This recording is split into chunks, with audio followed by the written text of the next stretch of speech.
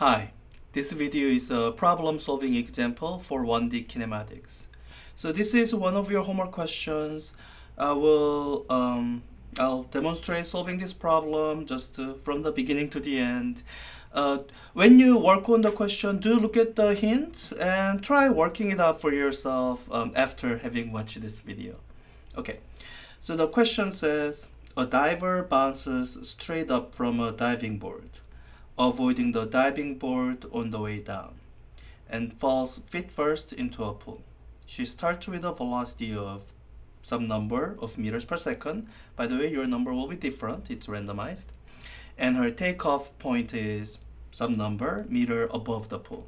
Note use g equals 9.8 meter per second squared throughout and report all answers to two significant digits. Okay, so that's the setup. And the question actually asks, you know, what's the highest point? How long is she in the air? And so on. Um, but from the information given in the problem itself, uh, I can start drawing diagram. And I highly recommend that you get into habit of, as you are reading the question, just diagramming the information that's being given by the question. It's a way to kind of recap for yourself what information is given and if you are missing anything. It's a kind of an intuition you have to develop so it takes practice. All right so i have a diving board here. The drawing doesn't need to be very artistic and mine are not. And our diver is going to jump upward with some speed. V naught and um, I was given the number of 3.75 meters per second. And you have the description of uh, diver's trajectory. She moves straight up and then straight down missing the diving board and then striking the water. And I was given the distance between the diving board and the water. Let me call that height h of 1.8 meters Oh, and let me highlight this as a reminder. G equals 9.8 meters per second squared. All right, so once you have this all diagrammed out, what I would recommend is pause for a bit, look at the information that's given to you, and see if uh, um, just feel your way to if it feels like you are given complete set of information.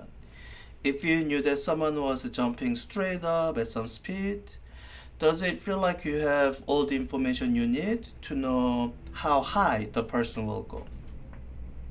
Maybe.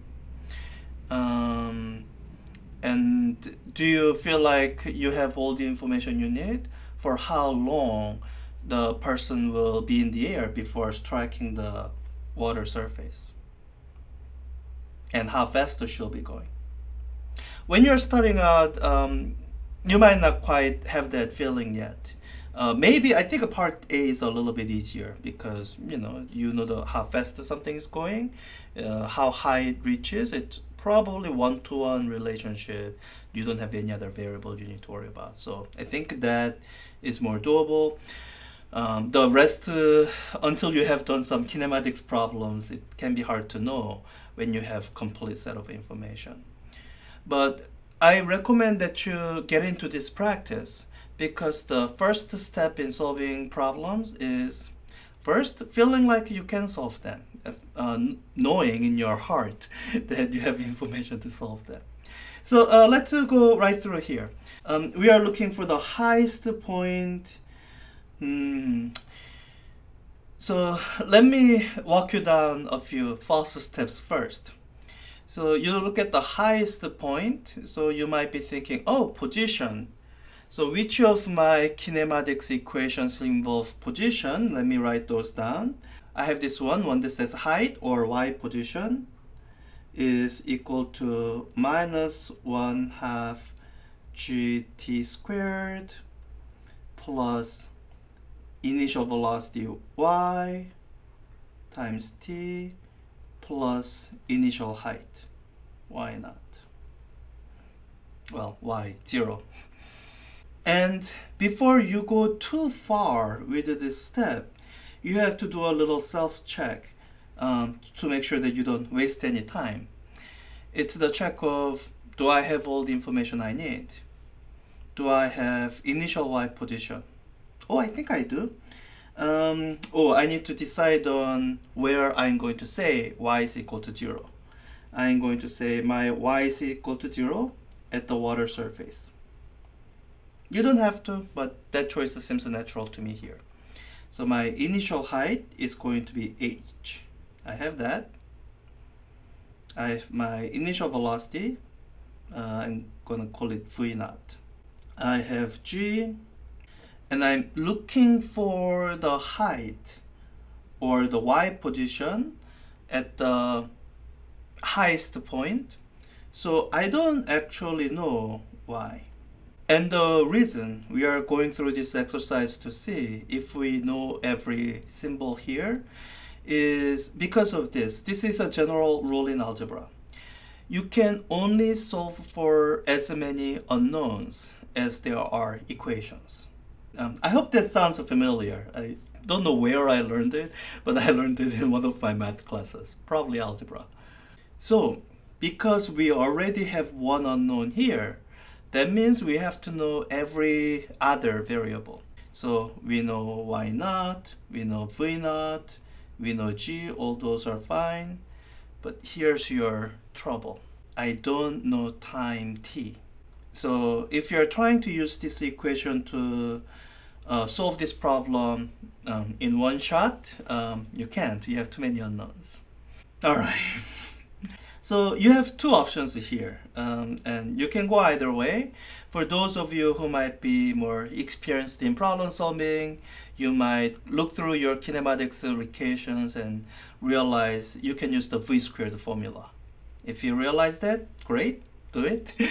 um, you'll do fine. Uh, let me go the other way. Uh, I'm going to actually continue using this uh, equation that I picked first because it's a good equation. It's useful in a lot of circumstances.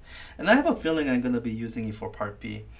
Um, so what I'm going to do is I'm going to instead try to find t. So the only problem with this approach here is that we don't have as many equations as we have unknowns. So I need one more equation uh, with, that doesn't introduce any more unknown to bring the balance to my number of equations and number of unknowns. So I'm going to keep it, this equation. Let me call it equation 1. So I have some way to refer to it. And um, I go through the rest of the kinematics equations in my head. Or I might have a uh, well, in my head. So I'm looking for something that involves time. That's not the v squared formula. It explicitly doesn't have time. Um, but I have other equations that involves velocity. So this is the equation that involves velocity. The velocity v is equal to initial velocity and plus acceleration times time. That's why I'm bringing it up. Here the acceleration is minus g, so minus gt. All right, this looks promising. I don't have any new unknowns because the V naught here is the same V naught, G here is the same G I was using before, and time, that's unknown, but it's the same unknown. Uh, here's a problem. What's V? Because that's different from initial velocity V naught. So you need to know the velocity at the highest point. And this is the place where I see many students get stuck. And this is the place where the practice of diagramming the situation and developing a physical intuition will help you long term uh, now and down the road. Because if you think about this situation carefully, you actually know this information. Um, you might remember it from your calculus class too. So what I like to do is I like to visualize. I like to imagine actually watching a diver who jumps up, who reaches the highest point, and then drops down. At the highest point, how quickly is the diver moving?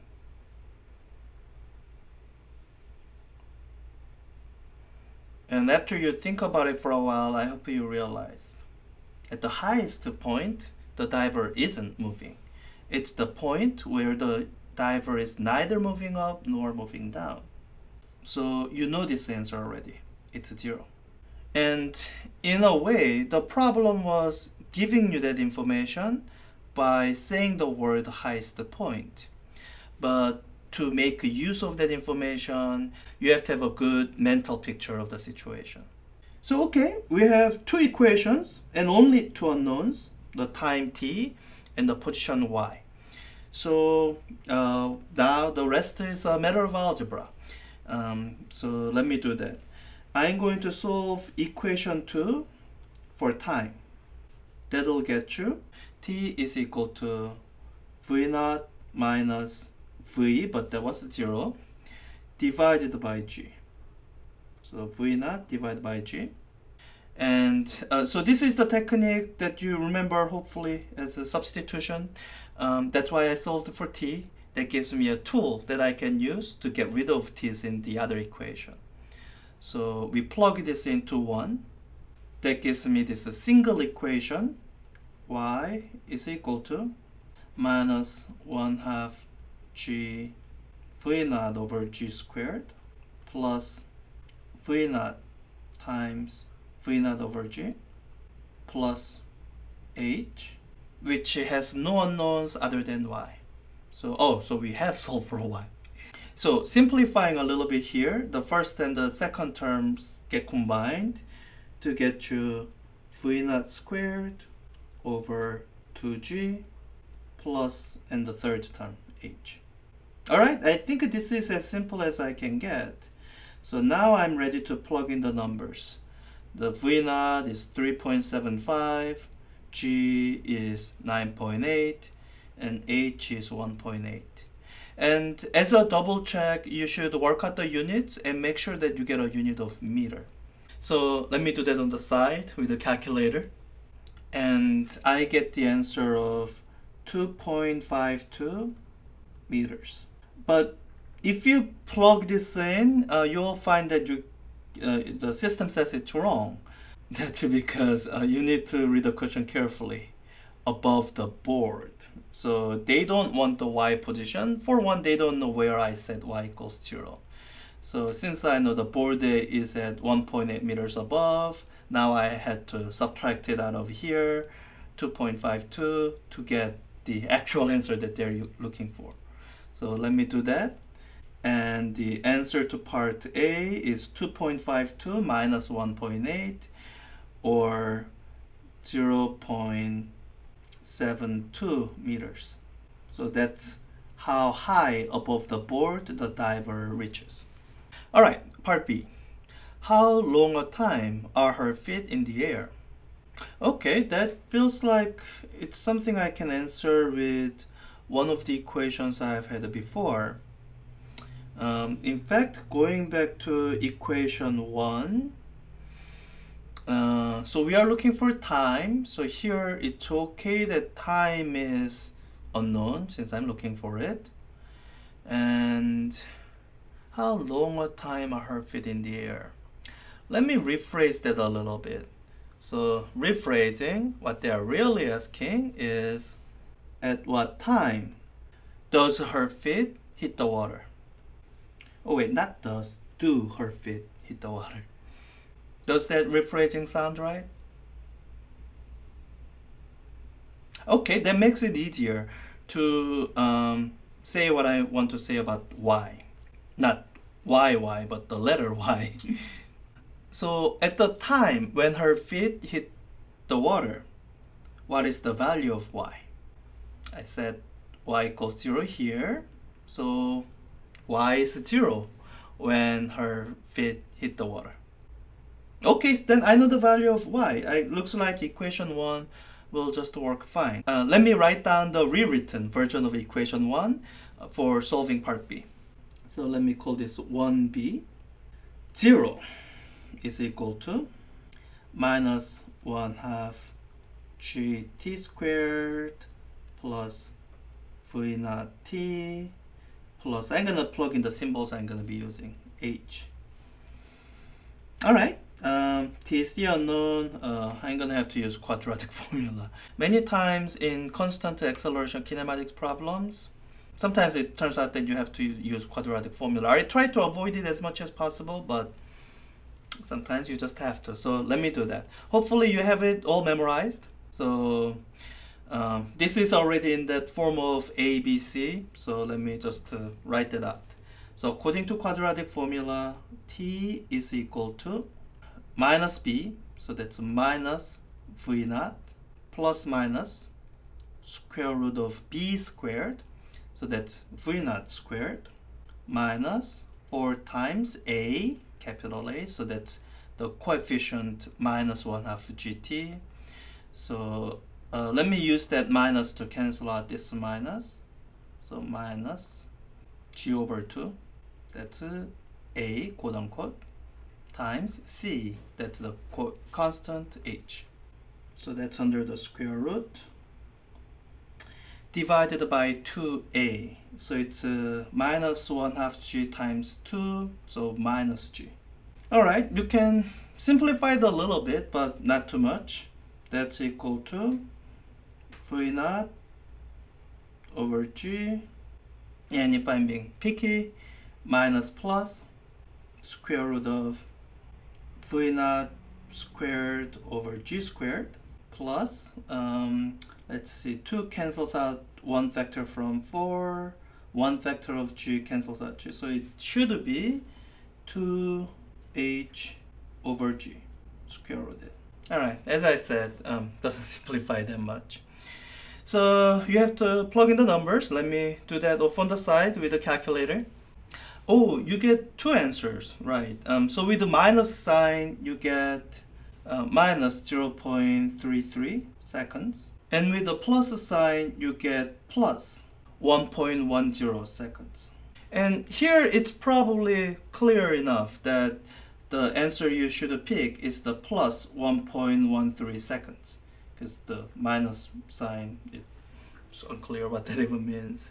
Um, but you should get into habit of kind of trying to make a sense of even the answers that you're going to be discarding. And this is what that a negative answer means. So this equation that we used equation 1 it uh, covers beyond the trajectories we are considering. So we are right now only considering from t equals 0 going up, then down. But um, it actually describes the motion for all time. So you have this uh, hypothetical part of the trajectory where the diver comes out of the water at some speed, goes up, and at time equals zero, reaches this, this spot. And what that minus 0.33 seconds reflect is this moment in time here the hypothetical moment in time when the diver could have come out of water uh, with enough speed so that she reaches this uh, point on the diving board that time equals zero and she continues the rest of the actual track. And you know all that's a hypothetical. It didn't actually happen. So the correct answer is 1.10 second for part B. All right, let me clear some of the board space for part C. What is her velocity when her feet hit the water? What is her velocity? Uh, it feels like this equation 2 is still relevant for that question. So we are looking for velocity. Good. We don't know that. um, v naught we know, minus g we know, and time. Oh, that was part B. So we have that answer right here. We can plug that in and we can get an answer. So let's do that. V is equal to V naught minus G times the time. This time I'll just write out the numbers. 1.10 seconds is equal to, let me plug in the numbers in the calculator. So it's uh, minus 7.03 and it should be meters per second. You should work out the units for yourself. Make sure you didn't make a unit mistake. And uh, it says one decimal place, so equal to minus 7.0 meters per second. Why is it negative? Oh, right. Um, upward direction is positive. Um, so when the diver hits the water, she's going downward, so her velocity should be negative. Now there's a bit of an ambiguity here. Um, does the system want you to answer negative answer or positive answer? So this is where you read it carefully. It says velocity. So I'm going to assume that they wanted me to indicate direction along with the speed. If they wanted a positive answer, then um, they would have said the speed. The ambiguity here is that um, what if you define the downward as positive? Because nowhere the question is specified. But uh, upward as being positive is such a common situation that's what it normally would be. Um, so I would try plugging in minus 7 uh, meters per second first. And here I tried it, it turns out to be correct. now, if it isn't um, correct, then to get the correct answer, you should try plus 7. And I would actually report it as an errata because um, something like minus, uh, 7.0 meters per second is not accepted as correct then there's uh, enough of a room for misunderstanding and ambiguity here that the question should be corrected. Alright, so that's part C, and I guess that's everything.